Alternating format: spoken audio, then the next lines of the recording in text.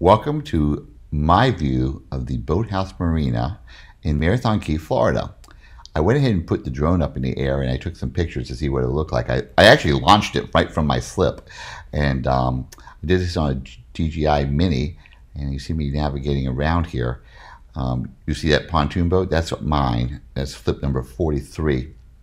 As you can see, that's the um, the key house that they have there at Marina. They have ice, they have fuel. This is a full service marina. It's wonderful. That tiki bar, inside the tiki bar, you have fish cleaning stations and things like that, and trash cans and things like that. So it's just amazing. There's a big operating deck here. So in the marina, you can actually bring your boats. If you have a, a, a rack space, it's a rackaminium, you can put the rackaminium in there. So right behind all this is the pool and everything. You don't get that from the aerial view in this video, but it's super nice. And I come back through, you can see you can pull yourself up here. I saw the um, Marine Patrol filling up gas here. So pretty easy to get big boats in there to fill up gas and those kind of things. I'm going to zoom out a little bit and you can get a, clearer view of the marina. It's kind of cool. You guys have big boats in this marina.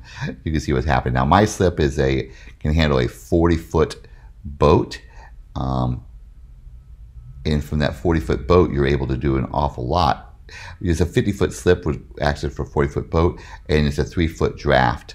They asked that we go in head first into this, but it's still there, and you can see it going pretty close. And we're going to pan around a little bit. Look, thought about coming in for a landing, but then saying, wait a second, let's take a look around here.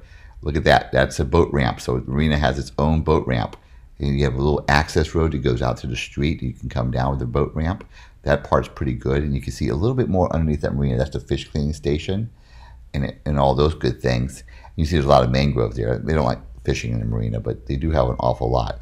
I'll come in and maybe shoot up here in a second and then retract and then what we have here, I'm panning around a little bit, see if everybody show everything, look at a good view of everything, 360 view. That's how you go out and you can get a good clear view of everything that's available at this marina. It's a wonderful place.